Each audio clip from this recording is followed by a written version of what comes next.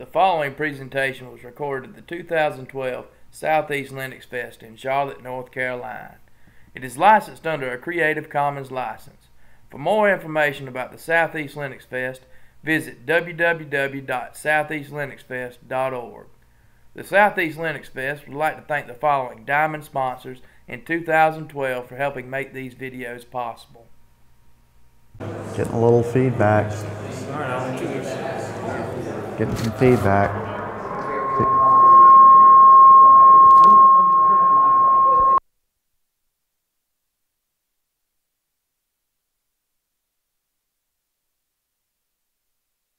This is uh, Dr. D. Richard Hipp. Uh, he's a Richard. just Richard, and uh, he's an Atlanta, Georgia native. Now lives in Charlotte. Uh, some of you might know him.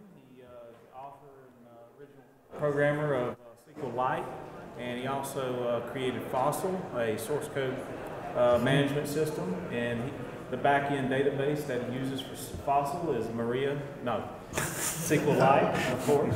And uh, he's going to talk to us about full text search and the algorithms of how to do it. And welcome. Thank you very much. Thank you for being here. Small correction. I was actually born about a mile from here at Presbyterian Hospital. I'm a Charlotte native. Not many of us around, but all my people are from around here. There's a bunch of Hipps in this area. Um, there's a there's a physician here in town. Um, uh, he's a neurosurgeon uh, named uh, Stephen Hipp, and uh, I would used to get calls for him all the time, you know, and I'd answer the phone, and people would start telling me about their medical problems, and I said, "Are you looking for the neurologist or the mathematician?" Said, Oh, I want the neurologist. Okay, well, I have his number right here. Let me give you that number. But listen, if you ever have any trouble with your differential equations, you give me a call. and um, I never have met Stephen. I, I keep telling him every time they, they call, you know, tell, tell Stephen when you see him that we got to get together for lunch. But I think he's one of the South Carolina Hipps. There's uh, two kind of groups of Hipps in this area. There's the ones here in North, here in Charlotte area, and there's some in South Carolina. And um, uh, the ones in South Carolina have money. I'm not related to them. So, so I want to talk a little bit today about just full text search. Um, I, and, and this is not talking about a particular implementation or anything. This is just going to be the theory behind it, how it works, what's going on behind the scenes. This is so that you'll know kind of what's happening when you do the full text search. Not intended to give you all the information you need to implement yourself, though it'd be a good foundation for that. Uh, nor am I pushing you in any particular implementation of it. This is just to tell you what's happening and why it, why it seems like it's a hard problem. Well, what is full text search? Um, in a nutshell, full text search is what Bing and Google and Yahoo do for you. You type in some keyword into the search engine like Linux, and it goes out and finds amongst some collection of documents, such as all the web pages on the World Wide Web, all the documents that have that keyword in it. And you're all familiar with how this works. You, people who really don't understand what's going on, they use it all the time. It's very intuitive, it's a natural thing. You can type in a single word, or you can type in two words or three words, and it finds all the documents that have all those words in them. Now, what, and, uh, what, so what some people don't realize is that, that it can do quite a bit more than this. You know, some people, uh, my, my wife is a, is, a, is a musician. Now, now, amongst this crowd, she's you know not really technical, but amongst musicians, she's like a tech guru, you know. And so when anybody, whenever her musician friends, when their computers break, they always come to her. And um, but she uses like Google. She uses it in, in uh, if she wants to go to Facebook, she types Facebook into Google. I mean, she never uses the URL bar to go to Facebook or her bookmark. She types it into the search bar Facebook and then clicks on the link. And there's actually a lot of people that do that. Everybody uses search now. Um, and you know, you might want to implement search on your own websites. Uh, why not just use Google, well, or, and, or Yahoo or Bing? Well, maybe you don't want to see all the advertising. Uh, maybe you don't want yeah, your competitors' links to appear at the top of the list. And, Or maybe you're, maybe you're indexing a private website that's not on the public internet. Or maybe this is part of an application that's not really network connected. It's a help system in a system. So there's a lot of reasons to want to do full text search, um, even though the, the, three, the big three do a great job of it. So you can type in a bunch of words and find the words. What some people don't realize is that if you put double quotes around a search term like that, this is a phrase search. And that will find all instances of those three words in order. So in, in the previous search I did here, it was just looking for the words snippet function cannot, and it found web pages that had those three words in it. But if I put double quotes around that, it insisted that the three words be in that specific order. And I worked very hard to find three words that would end up on the SQLite website. But took me a while, I found them.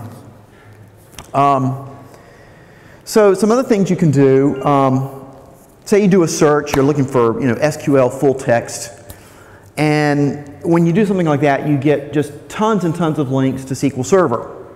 And suppose, well, I am not doing SQL Server, so I don't want to, I don't want to do that. You can add a term minus Microsoft, say, and it will exclude those pages that have Microsoft in it, sort of an anti-search term.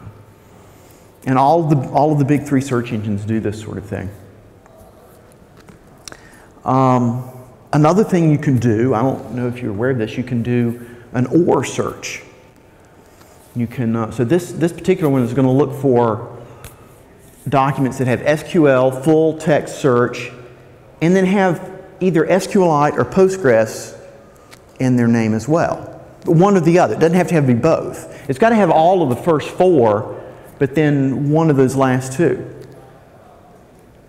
And all the search engines do this.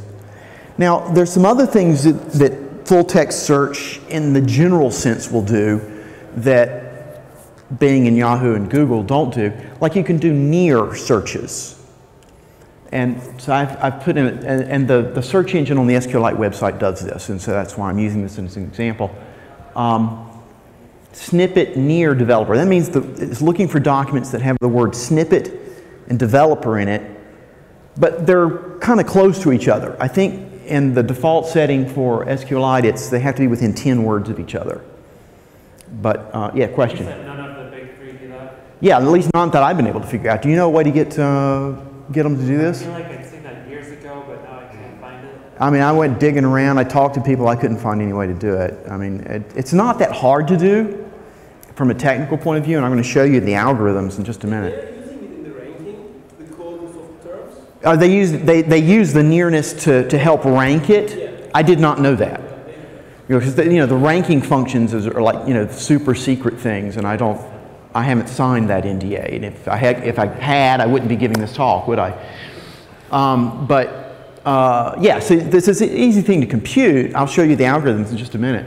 Um, and, and, and you can do things like say, well, you know, it has to come after or before.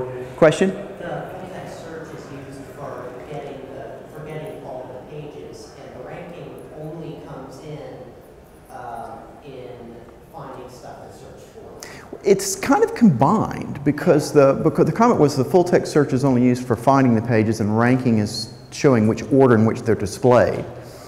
But you know, uh, for, for, for a small website, that's entirely true, and it's an entirely legitimate thing to do, and that's entirely what I do here, because I don't, there aren't that many different pages that you can possibly get. If you put in a search term that hit every single page on my website, that's only about a thousand pages.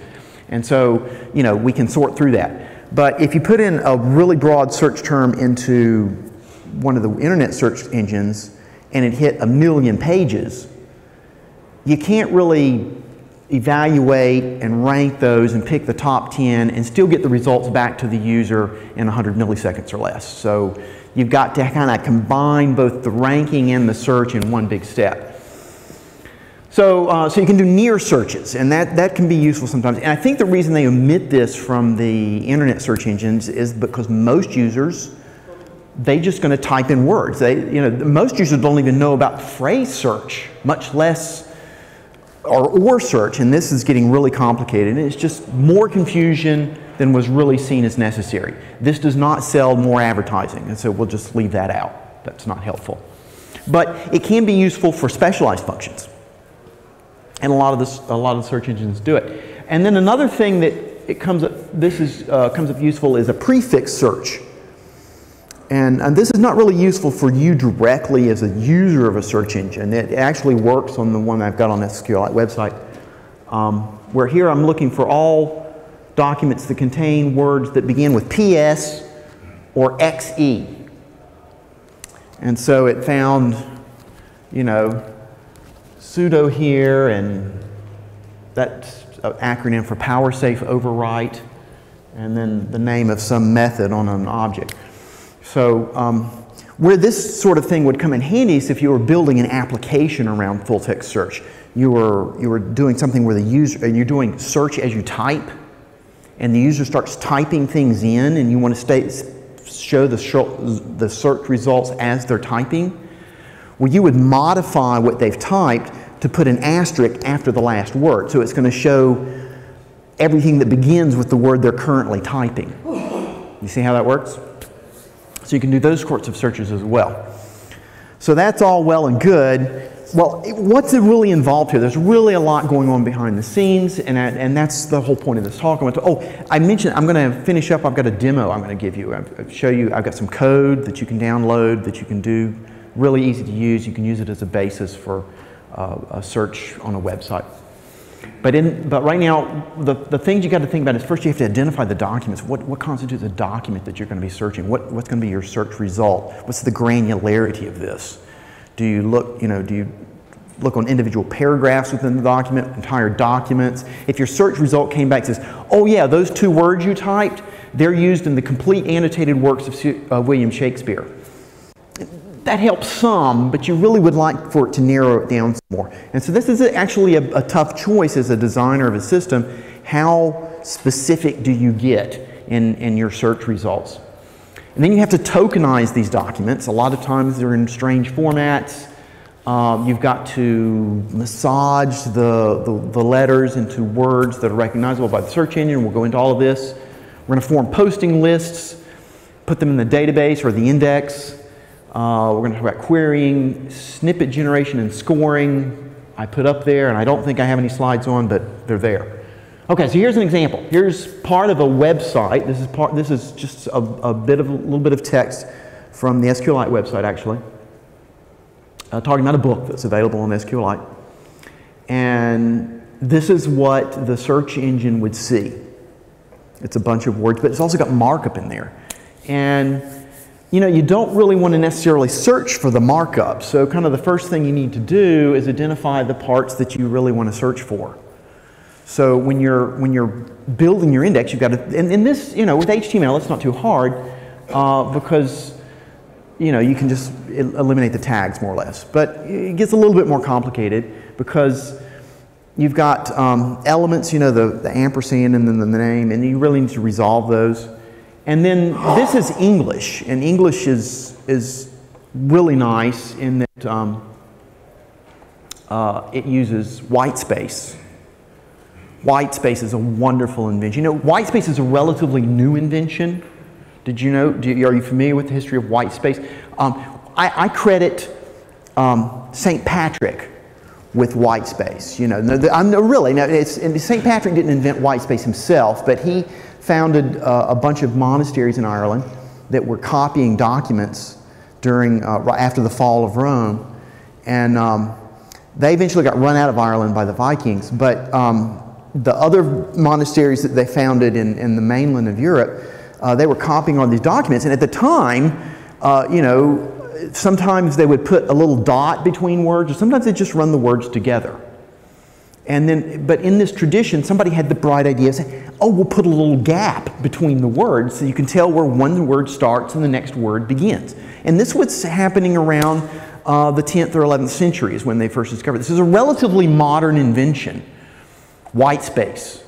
Still has not caught on in the Far East.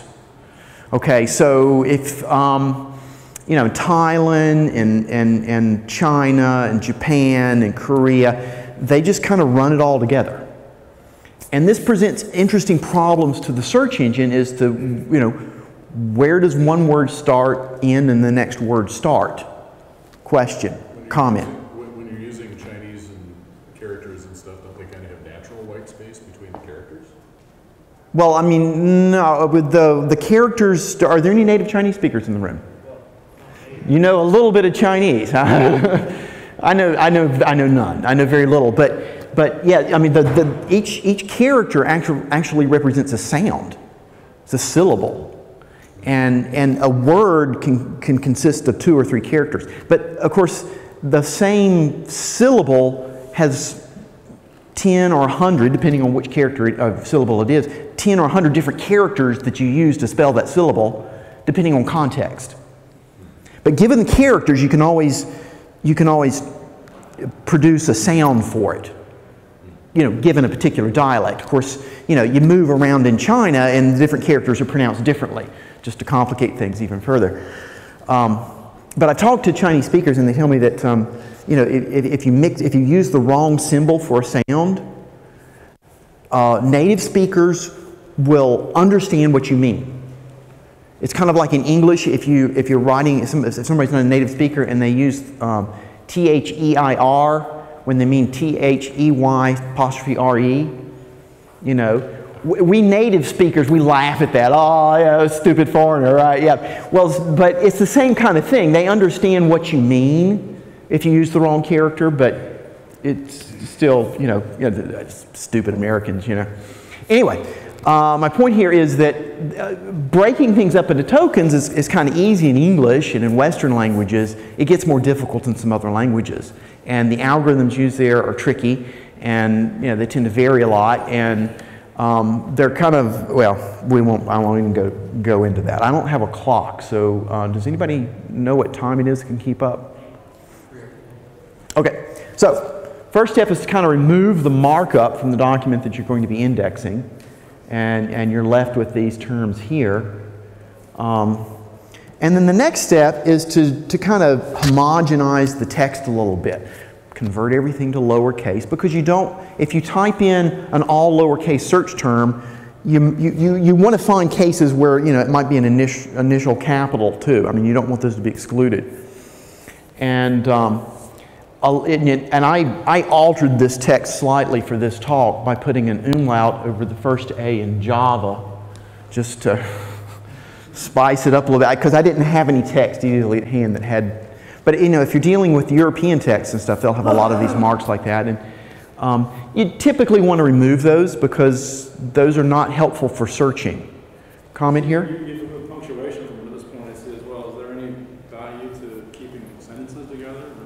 No, not really. Uh, I guess you could maybe think about that, but I don't think any of the search engines do that. Um, so you kind of homogenize the, the words a little bit by removing extraneous marking and punctuation, diacritics, case folding. Um, and this can be, be, kind of tricky too. I've got one system that I was working on for a customer, and um, they wanted to do this sort of thing. And, and so people would write in Cyrillic fonts or Greek, and I could transliterate it into to Roman characters to, before I do the search, which actually works out really well. Um, because you know Russian or, or, or, or, Bulgarian, which uses Cyrillic font, they're Indo-European languages. There's a lot of cognates with, with other uh, European languages, and so you can still find words even though they're written in completely different characters and that's, that's a really cool thing to do. Um, there's a, a, package that was originally done for Perl called um, D-Unicode. Instead of Unicode, it's D-Unicode. And what it will do is it will take any kind of Unicode text, uh, you know, Han, Chinese Han characters, Japanese, Greek, Korean, uh, uh, Hebrew, whatever, and will convert it into just, you know, plain old ASCII for you. Transliterate it so that it, it's, you know, it's the way it's supposed to pronounce. And that might be something that you'd want to do before you do this. The other thing you want to do is stemming. This is a very language dependent thing. And that's the basic idea between, behind stemming is to try and find the root of each word. So, for example, uh, definitive gets simplified to just definite or something. This is an example of the output of a classic stemmer for English called the Porter stemmer. It's a classic. Uh, the guy Porter, what was his first name? I forget all of a sudden. Uh, he wrote this in the 70s or 80s, and it's just sort of a classic algorithm. Works great for English. If you use, it doesn't work for other languages. And so the problem with this is it's very language specific. You have to have a stemmer that applies to the particular language that you're working on. And if your document includes a mixture of multiple languages, that could be a really serious problem. But, and so this is, these are the sorts of things that you have to deal with. Here I've stemmed it using the Porter stemmer to sort of simplify some of the words and get them down to um, their canonical form.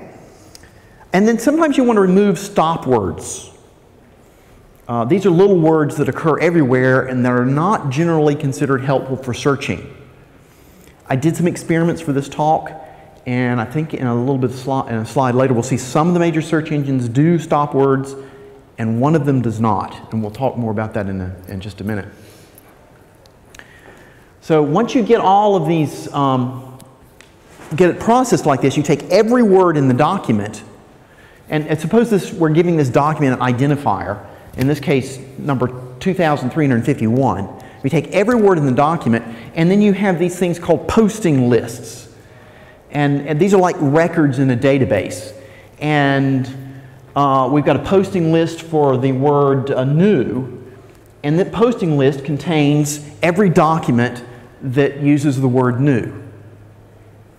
And we've got, another, we've got a posting list for every word that can possibly be used. And so there's a bunch of these. And, and depending on how many documents you have, these posting lists can get very large. So that's building the index. This is, this is what, um, uh, that's what you do in order to construct your, your, your full text index. Now to query it, uh, you take your query, here's somebody's typed in recommend a new book as their query, and you have to do the same processing steps on the query that you did on the original document. Uh, we're going to do case folding and diacritic removal. And then you have to do stemming. We changed recommendation to recommend there is the only change. And then you pull out the stop words. And it's very important here that you use exactly the same algorithm for transforming the query text as you used when you generated your index which is this is a problem with full text search. That means that if you want to tweak your your your stemmer or you decide that you don't want to do case fold, you have to rebuild your whole index. You got to start over. Um, so once you get all that, uh, you've got these three words. You look up the posting lists for the three words in your search, and then you take their intersection and that's going to be the documents that have all three words in them. And there's a really efficient way to do this because the, the idea is that you, in the posting list, you store these document IDs in, nu, in, a, in numerical order. Let's say it's ascending order. So, you know, the early documents come first. And so you've got these lists that are in sorted order.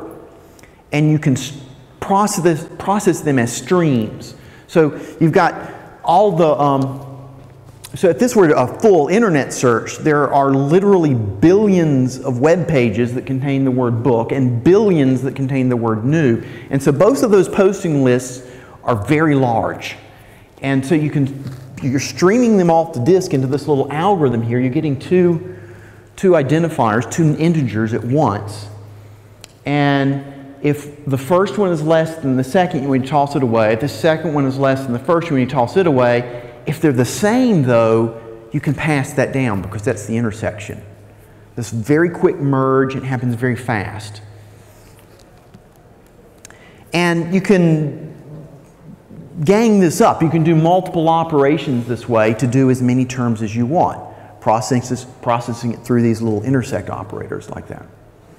And that'll very quickly get you just the documents that have all the words that you're asking for in them.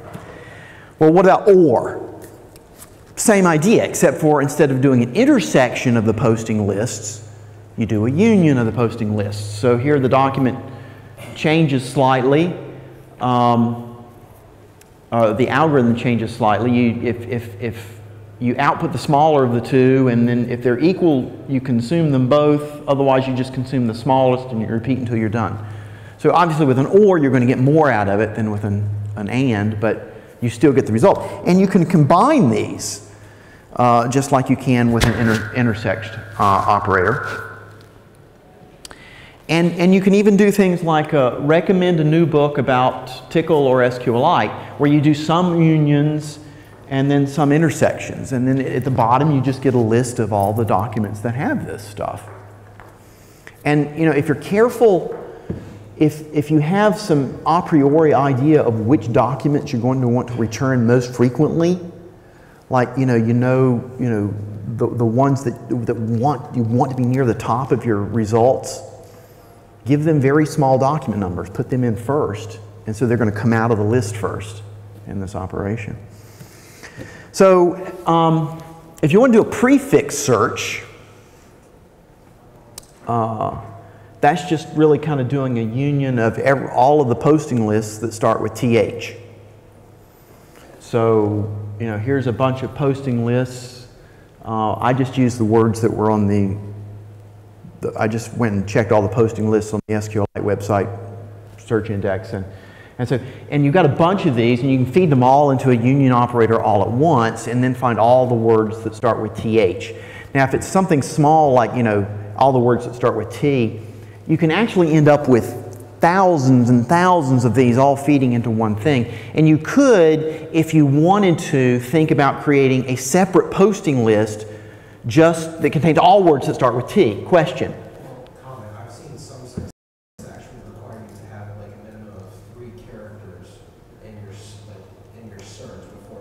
So the comment was some, some engines require you to have a minimum of three characters before they'll even attempt this. And that's just probably to limit the load because, you know, searching for T star is going to find a lot of documents generally.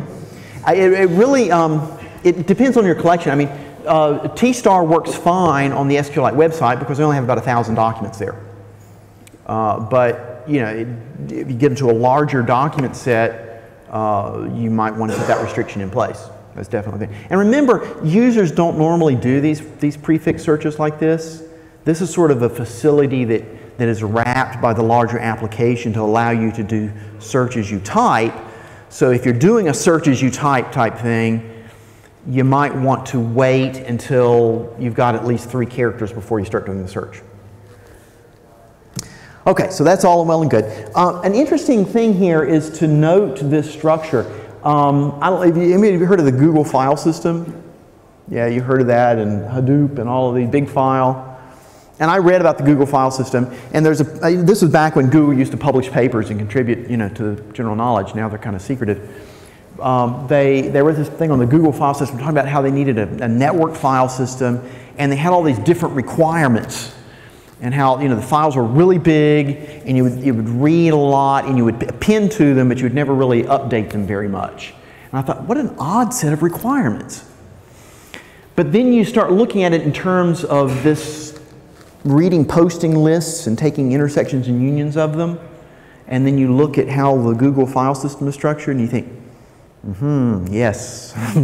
That's not a coincidence, I, I, suspect. I have no inside knowledge of how Google does their, their full text search, but one, one can make suppositions. All right, so what about phrase queries? Uh, this is a very useful facility, and, but it can be tricky. Uh, the naive approach would be to do just an ordinary AND query, and then gather up all the documents contain all three words or all however many words you're, you're, you're, searching for, and then pull in the complete text of those documents and scan the complete text to see if those words occurred in the order specified and beside each other. And you know, for a lot of cases, that that's a reasonable thing to do. Uh, but you know, there are some cases that, like you know, a, a phrase search for the and but, as an example. You might ask, well, why do you want to do that? Well, this is a pathological case. Those three words occur in just about every document out there, but they very, very rarely occur in that order. Okay? And so I actually tried this phrase search on uh, the, the three big search engines, and it did not work on Bing or, or Yahoo. And I think that it's because those two search engines are using stop words. They don't allow these words in the search at all because they were just giving me random results. But it actually worked on Google. And I found some documents that contain the and but in that order. I thought that was pretty cool. But how do they do that? And then they they, you know, they're, they're, they're searching for literally. Uh, what, what's, what's how many documents do they have now in, in, in, these search engines? Does anybody know? I know that it's more than will fit. You can't count them with a four. That was a big deal back 10 years ago when Google had to go away from using a four byte integer for numbering their documents. Okay, that was, that was a big deal for them. I haven't heard anything since. I mean, how many bytes of integer do they need now? Does anybody know? Pardon me? Yeah, oh yeah, whatever, one mole. now, it's probably not that many, but still, they have they, oh, uh, more than 4 billion documents, and they did this in a few milliseconds. How did it do that? Well, what you have to do for the phrase search thing is you have to store some additional information. You go up and you take your original document and you number all of the words in the document. You remember the position of each word. And then when you store the documents in the posting lists, you also store its position within the document. And if a word occurs in a document more than once, it has to be in the posting list more than once. So, for example, book occurs up here three times at position 5, 15, and 25. And I have to store that three times in the posting list.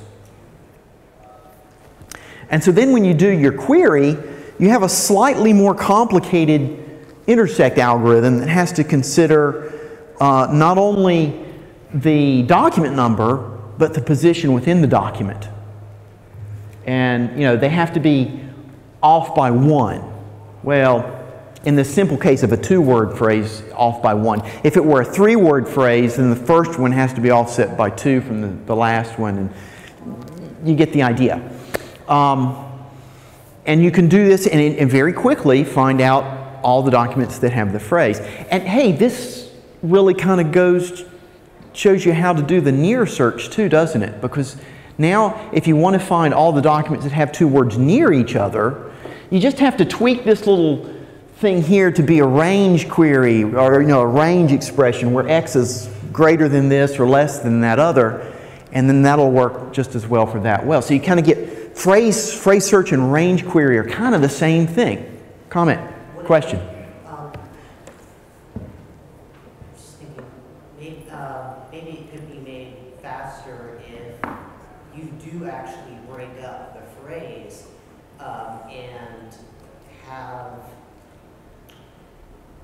You look for the least common portion of the phrase and look for eliminate it that way.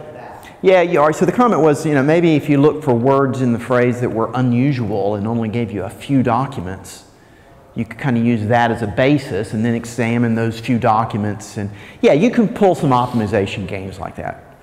But um, you know, if you're if you're looking for the phrase the but and, this is the only way to do it. And in my experiments, apparently Google's the only one doing this, okay? So, uh, and, and, of course, you can combine these sorts of things and, and have big trees. Uh, nesting. Uh, one thing that is very important, it's important to balance this tree. Oh, oh note, note in particular that this really lends itself to parallelism. Man, you can really parallelize this in a big way because each one of these little comparison operators could be on a separate machine. And each one of these posting lists can be pulled off of a different disk drive. You can re- really parallelize this, but it's important that you kind of balance the tree. You don't want all. You don't want the. If you got a lot of search terms, you don't want the tree going off in one direction. It's important to keep it balanced so that you can get performance out of it. Okay. So, so that's how you find words and you know that you've actually searched for. But people don't really enter the words that they want to search for. Uh, they enter words like this. Um, the doctor says Aunt Betty has pneumonia. What is that? um, uh, John's going up to Philadelphia to visit somebody, and what's a yacht club? No, and, and uh, um, yeah, and, and, yeah, uh, my friend's daughter's going to school. She's studying sociology. Psychology. Or psychology, excuse me. Yeah, and we don't want to, we don't, we, we're, we're all against bureaucracy around here. Uh, you're in Charlotte, North Carolina now. I don't know, this is the, the correct way, you know, the place where they keep books, you know, where you go to borrow books in Charlotte, North Carolina is pronounced library. Okay? That is the way it is pronounced. If you say library, oh, stupid Yankee.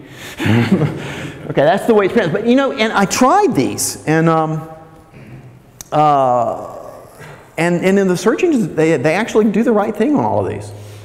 So their spelling correction really has to be a part of this because you know your users are not going to do the right thing. So how do you do this spell correction? Here, um, uh, why is this slide here? Oh yeah, here I've, I've typed into Bing and I've misspelled SQLite database and it says, yeah, yeah. Oh, but no, I put the plus sign on front. If you don't want the web, the, the search engines to do the, the, the spelling correction for you, um, I found that you can put a plus sign in the front of the query and it'll, it'll take literally what you type and won't try and spell correct for you. At least Bing and Yahoo work that way. Google insists upon spelling correcting regardless of what you do. If there's some magic way to get Google to not spell correct, I have not figured out what it is. So yes, do a plus in front to disable spelling correction. Google has the reverse though. If you type that stuff in, it'll, it'll say, showing search results for correct spelling. Did you actually mean, you idiot, did you really? Yeah, so I, you know, I, how do you, how do you get it to do that with um, I'm feeling lucky? I haven't figured that out yet. Yeah, I think putting quotes around each misspelled word is kind of tedious, but it works. Yeah. Do, uh, so the, the comment was you can put quotes around each misspelled word and that prevents it from spell correcting. Okay, I did not know that. They switched it when they came up with Google Plus. Yeah. Oh, right. and the, com- the comment was that they got rid of the plus sign thing when they came up with Google Plus because there was an issue there. That's entirely possible. So, what, so spelling correction is a big part of search. And spelling correction is a big problem. It's been researched for a long time, and there's just tons of papers out of there on this. The big problem with spelling correction is first, identify words that are misspelled. Because English has the total vocabulary of English is like a million words. Nobody in this room knows more than 30,000 of those. And, you know, any misspelling you type has a strong chance of being another word, you know? so, so figuring out which words are misspelled is a hard problem. I'm to I'm to leave it there. Then you have to locate possible corrected spellings, and then you have to rank them by quality. So uh, the, we'll start at the end. Ranking by quality is it's uh, there's a bazillion ways to rank spelling corrections by quality, but everything keeps coming back to this idea of edit distance, where you you um, count the number of insertions or deletions and substitutions, maybe transpositions, and the total amount is the edit distance between the two words. Um, and sometimes you might want to weight that. So let's see. Here's here's the edit distance between pneumonia and pneumonia uh, we can insert the P, change the W to a U, delete the A, change the Y to an I. So the minimum edit distance is 4. Comment? I believe the first thing um, that Google in particular does with, uh, with words that aren't in a dictionary um, is it'll actually try a uh, sound text. Okay, so the, uh, there was a comment about Soundex. Don't get ahead of me coming there. I'm going to get there. Just, just chill. So, um, yeah, so, and, and the other thing is you might want to weight this uh, because, uh, you know, the PN is a common little thing that people mess up. So, you know, putting a P at the beginning of the word, you might want to give less weight to that. Um, changing a vowel to another vowel is a pretty common thing. So you give, so that's not as bad of an edit as, as some other things. And uh, so I just tossed it, you know, and of course the weights here are pretty much subjective. Uh, how do you come up with good weights for, for, for measuring this? Um, I, I chose one at random and it gave me a, a, weighted edit distance of 1.71, which is still a lot closer than 4. Um, so one strategy would be that, you know, you start with the misspelled word And, and this is, and if you look at, if you do an internet search, oh, how do, you, how do I do spelling correction? There's a real popular, you know, there's a real popular website where you can do this algorithm in Python in 22 lines or something like that. And uh, you start with the misspelled word, and you start, you know, making all these edit operations, and then and checking to see if it's a word in the in the dictionary, and you know, and then check, and then do the edit distance, get the result, and keep the best ones, and those are your your possible spelling corrections. And this works okay for typos, stuff that you know where the where you really only have one thing wrong. Uh, but where you have things like pneumonia to pneumonia uh, that technique just doesn't work because up here there's only a few hundred, you know, when, when you're trying to take this and find all possible changes, there's only a few hundred possible changes you have to make before you find the right word. But down here, if you start randomly making changes to pneumonia, trying to change it into pneumonia, you'll have to look at literally billions of different changes before you actually stumble upon the right one. You know, and if you have a warehouse stacked to the roof with servers, maybe you can get away with that. But if you're trying to do this on your, your iPhone, not so much, okay? You, you got to come up with a different algorithm. So, phonetic spelling correction. Um, the other approach is to kind of guess what the word sounds like and then find vocabulary words that sound similar and compute the edit distance there. So uh, this is the kind of the Soundex approach here, where you take the, the letters and you map them into numbers. And these are letters that, that produce sounds that sound that are similar, like vowels and semivowels are they just get eliminated. Um, um, bilabials get one. Uh, rear stops get two. Uh, labiodental stops get three. Uh, semivowels get whatever. Comment. Stupid. I'm sure this is a stupid question. Yeah. Google and, Yeah. They have to have a huge corpus of misspelled words that they've seen people search for. Oh, yeah. Wouldn't it just be easier to keep an index of misspelled words? All right, so the question is, would it be easier to keep an index of misspelled words? There's all kinds of games that you can play. Um, uh, and it depends on, if you're Google or Yahoo or whatever, and you, you're able to mine your traffic to come up with a library of misspelled words, that works great. Uh, if you're trying to build a, a, an app for Android and the whole thing has to fit in a certain memory budget, then having a big table of misspelled words doesn't work as well. And even then, there are going to be misspelled words that are not in your table.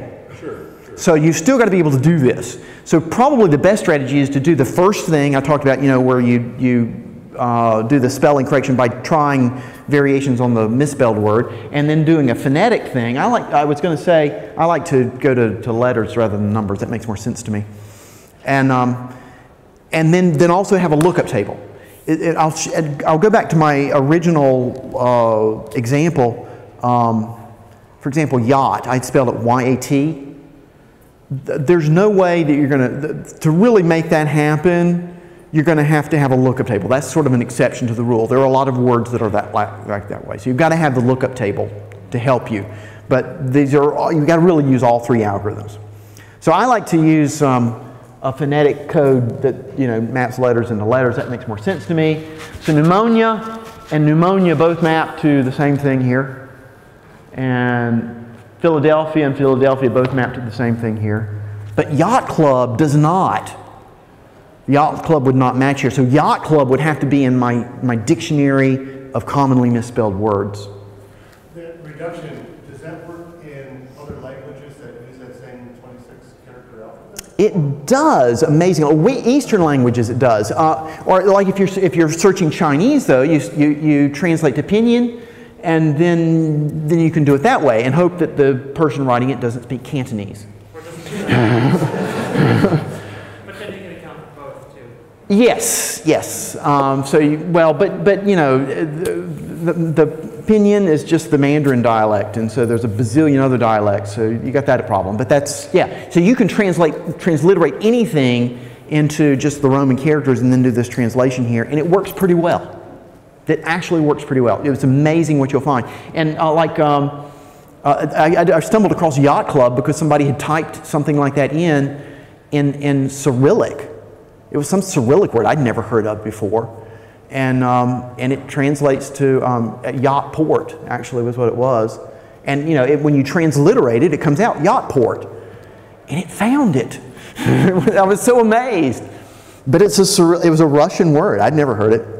So, anyway, this sort of thing works well for phonetics. Um, not so good for typos. You really need to combine both algorithms. And you need a, a table of exceptions. Back up above, I had my list of, of um, troublesome spellings. I tried all six of these on the, on the search engines. They, they corrected them all correctly. Uh, but, uh, and all of these would be corrected by the phonetic changes, except for Yacht Club. You've got to have a table of exceptions for that one. That was just, there's no, there's no way to figure that out otherwise. Actually, if you, ex- if you extend the phonetic, this sort of phonetic hashing, um, to include various, um, well, diphthongs and other things, then, uh, Yacht Club might. Okay, so the comment is if you extend this method to include lots of phonetic rules of, but if, you can extend it to include lots of phonetic rules, and you might be able to get Yacht Club to work with this phonetic matching. To do that, you're going to be you get you get to get a lot of rules. Have you ever looked at the rule set for double metaphone, which is one of these phonetic hashing hashing things? It's horrendous, and you just don't want to memorize all that. You don't want to learn it, and plus, it only works for English. Whereas a simple rule works for a lot of languages, uh, and then you can just use a, a, small table of exceptions to handle the, the hard cases. Actually, you, you must have applied also that same, same, same method for pneumonia. Because three letters are matching to two letters. Six. Well, yeah. No, because the vowels are taken out. The vowels are taken out, yeah. Yeah. So, all right, I, that's a, as, as the, the question mark means it's time for questions only. Oh, please repeat the question. Okay, I'm sorry. So let's just move on.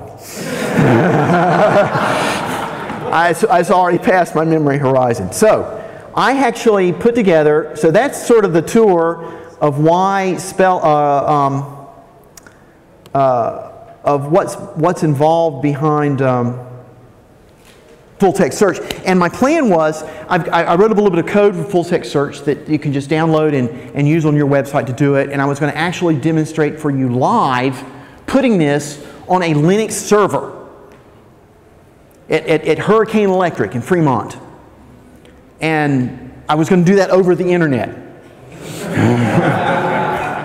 so um, uh, that didn't work out. So I scrambled around and I put I copied the website and put a little web server here on my Mac. In the process, discovering that Linux boxes are way, way easier to set up for this sort of thing than Macs are. and uh, so this is, and, and, and I, I, uh, I fudged my, um, can, you, can, you, can you read this? I can make it maybe a little bit bigger. Um, I fudged my etc hosts file so that it thinks that the SQLite website is 127.001. So whenever I type www.sqlite.org, I'm not really going out over the internet. That's going to kill you in about three days. No, I, yeah, I, I, I, yeah. The, point, the comment was that's going to kill me in about three days. I, I desperately need to remember to take this entry out after this, after this talk. Um, Yes, yes. So, all right, here we go. I'm going to go over here. I'm going to make a uh, temporary directory. And I'm going to CD there. And then I'm going to get the source code to this little project. It's C code, and you can download it. It's open source and, and do what you want with it. And um, I'm going to use Fossil to get the code. Now, it's on a website. Fossil is the configuration management system that I wrote. But it's on this website here, and you can see the URL there www.sqlite.org site search is all you need to go to. And if you go to timeline and you click on this top link, there are two, I tell you what, well, there's going to be two links here under other links to download it. I just didn't have that turned on yet, but that will when I get back to the office and have internet, I'll, I'll make sure that those links are there and you can just download the code that way. Um, but I'm going to do fossil clone, and you can do the same thing if you just install, fossil. Fossil is a standalone program. It's you know single binary. You just put it on your path somewhere, and then you can do all of this. That's the only dependency that I'm that's, that's in this little demo is that one one command. So if you just get that one standalone binary for Linux and put it in your path, you're good to go. And then I'm going to do http colon www.sqlite.org site search.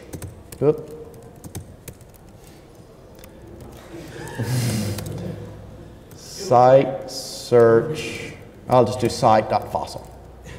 Okay, and that pulls all the code. And now we've got the complete website here.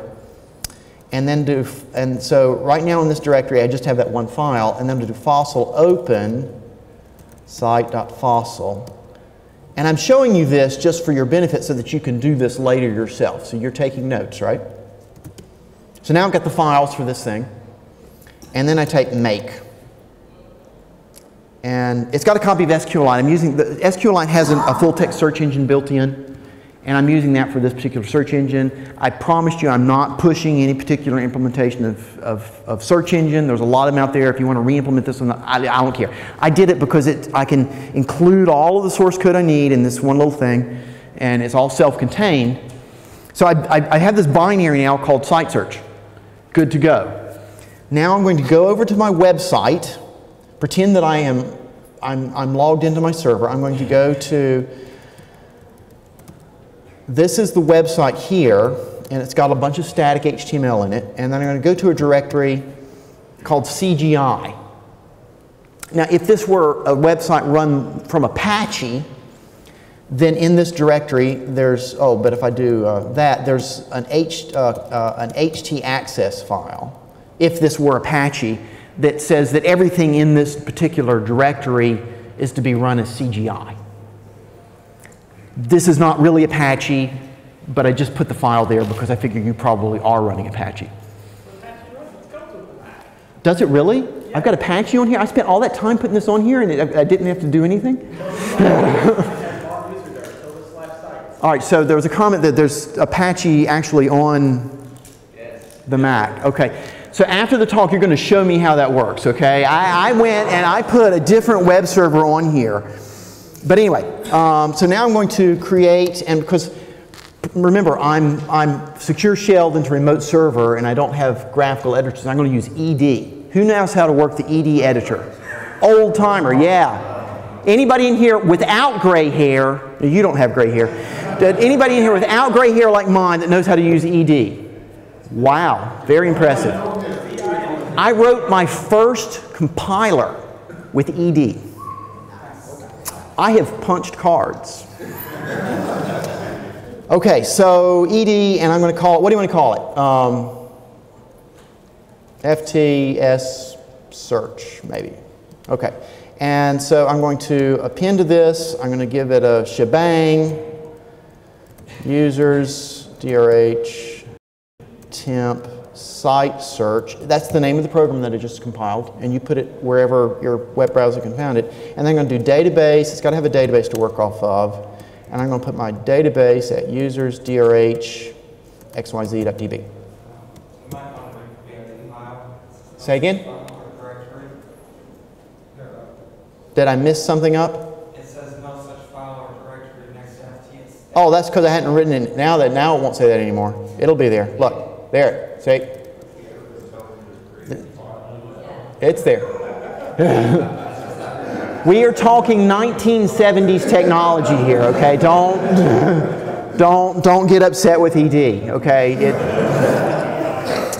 okay, so now it's there, and I've got to uh, give it execute permission. Okay, and we're not quite done because I've still got to create the database, and to do that, I've got to run my little utility, site search, FTS search, init. That created the database. Now I have to populate it with content, and I'm going to do all the HTML files that are directly above me, and then I have a bunch of other HTML files in subdirectories. And it's reading every one of those HTML files and doing all of those steps that I talked about during this lecture and pushing them into the database, and it's done. Okay, and so now we're good to go. So I can bring up my web browser, and uh, I put this under CGI, and what did we call it? I forgot what we called it. FTS-search. Okay, and what do you want to search for? Say, what, what, what, what, what, what was, I didn't hear it. pneumonia. Pneumonia. I, it's not, it's not, I, it's not going to work. I have five minutes.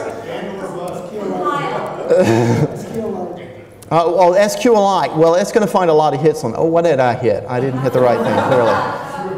CGI, FTS search, Ohio. No document sound. Compile. Compile. I put. I gotta put Q equal. Compile. There we go. And so, uh, well, but you know that didn't really work out because there's this backlink cross-reference document that I have there, which is not something that you really want to appear in your search results. That's a bad, because that's, that's, that's this really weird document that just tells me about all the hyperlinks that I have, because the website is automatically generated. So I want to get rid of that document. Let me um, go over here. I'm going to say, uh, let's drop, what was the name of that document? It was um, doc backlink crossref or something. Something crossref.html. So I dropped a couple documents there, and I'm going to repeat this search. And those first couple of documents that are crossrefs uh, should go away. And they do. So, so um, anyway, it's a, it's, a, it's, a, it's a cheap little search engine there, and it doesn't do a whole lot. It does not do pneumonia to pneumonia. I, don't, I have not attempted to do spelling correction in this, this particular demo. It's some simple C code, and you're welcome to it. Download the code and play with it and use it on your site or whatever if you want to do. And uh, we're about out of time, so I'm going to open the floor to questions. You've already asked all the questions. All right, yeah, query engine. Yes, go. The question is, why wouldn't we use Lucene? Well, I mean, maybe you did. I mean, uh, if you want to use Lucene, that's fine. I, I would say I'm not pushing a specific implementation. There's Sphinx, there's Lucene, there's search engine. Is, does, is there a search, search engine, uh, full text search built into Postgres? Who knows? There is. There's full text search built into MySQL, which I understand is very bad. Um,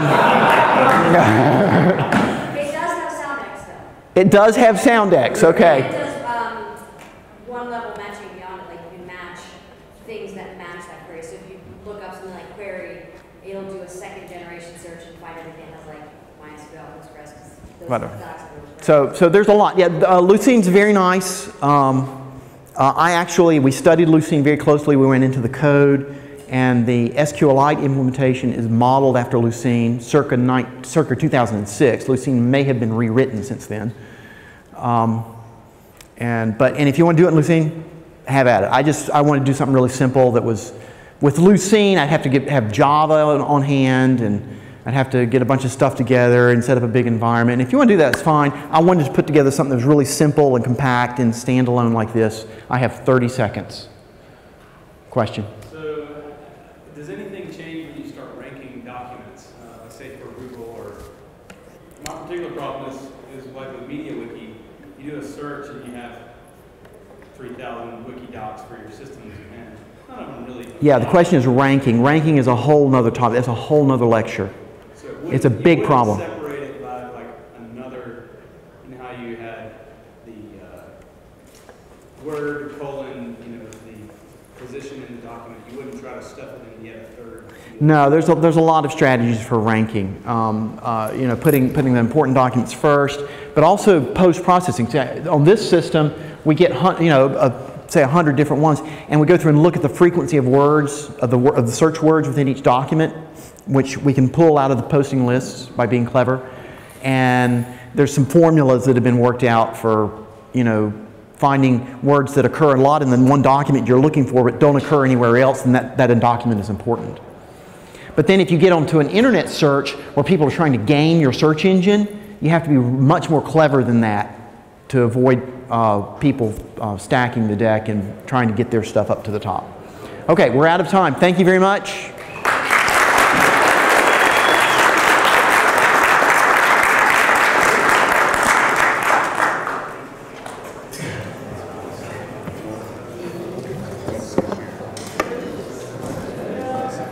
Thank you very much. Good job. thanks. Job.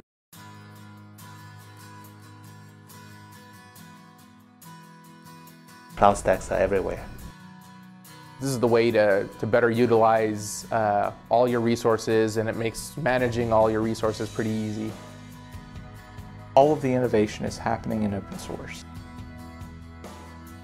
The, the collaborative nature and of the uh, you know of the community and, and the speed at which these uh, these you know these these deficiencies these bugs are getting discovered and, then fixed is a, a thing that really shows the power of the you know of the open source community.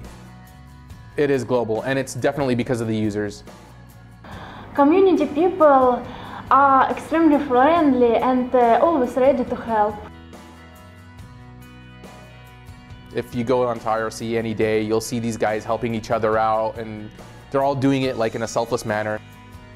The product is transparent for everyone. Everyone can look at the code base.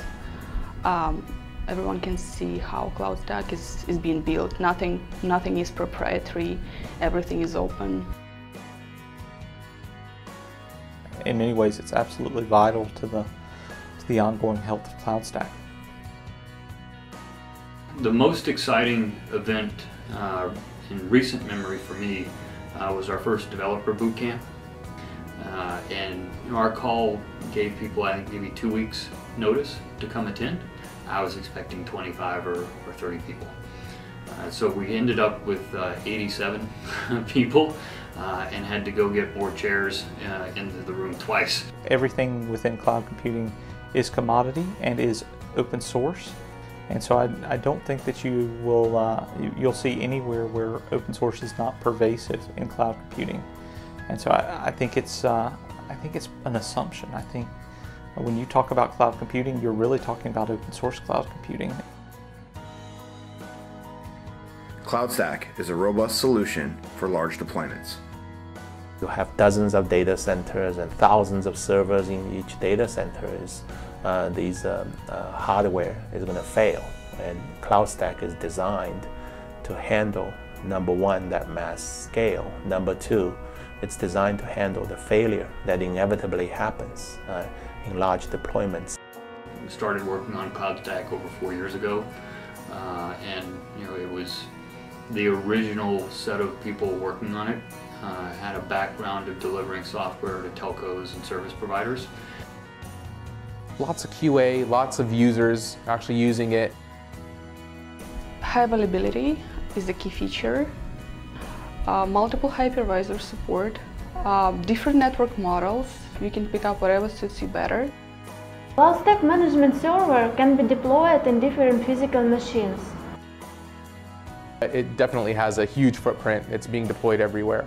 There's a major movie studio that uh, um, they were using CloudStack. They were using it to transcode video. And I thought that was terribly fascinating. What I found more fascinating is what they did during lunch, where they would spin up, uh, you know, 50 or 60 game servers. Then as soon as lunch was over, they would destroy all the instances and go back to doing real work. CloudStack is vast. Uh, it touches so many different aspects, and there's no one person that's kind of like a master of all those realms. I think CloudStack as a project is going to be uh, one of the leaders simply because it's some of the most featureful and and uh, and robust platforms out there. I don't see any limits to the CloudStack. When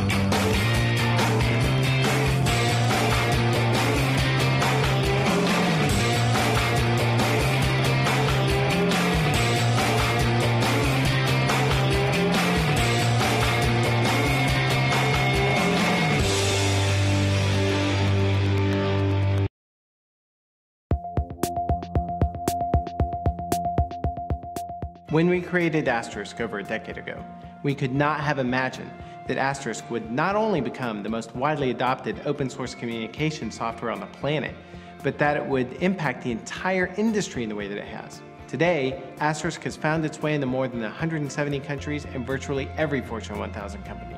The success of Asterisk has enabled a transition of power from the hands of the traditional proprietary phone vendors into the hands of the users and administrators of phone systems. Using this power, our customers have created all sorts of business-changing applications, from small office phone systems to mission-critical call centers to international carrier networks. In fact, there's even an entire country whose communications infrastructure runs on Asterisk. Digium has always been about creating technology that expands communications capabilities in ways that we could never have imagined. And that's part of what's game-changing about Digium. Today, we're doing it again, this time by introducing a new family of HDIP phones that extends control of the user all the way to the desktop. The launch of these new products represents the next phase in Digium's history of innovation. These are the first and only IP phones designed to fully leverage the power of Asterisk. When we first discussed our expectations for building a family of phones for use with Asterisk, our requirements were pretty simple. We asked the team to build the phones such that they were easy to install, integrate, provision, and use. I think you'll soon agree our engineers have delivered on that goal. User feedback is validating that when it comes to operation with Asterisk-based systems, including our own SwitchVox-based product, these are the easiest to use, best integrated, most interoperable products on the market today. The Digium family of phones will initially include three IP desk phones, uniquely designed to complement any Asterisk or SwitchVox-based solution. These phones are different for a number of reasons.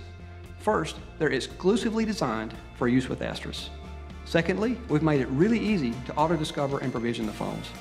Next, we've made it easy for the phones to access information inside of Asterisk, allowing tight coupling between an application and the phone.